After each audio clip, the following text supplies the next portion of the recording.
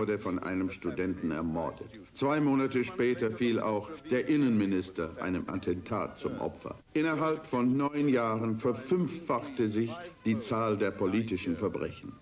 Aber die Wolfsjagd fiel allerdings nicht viel anders aus als in früheren Jahren.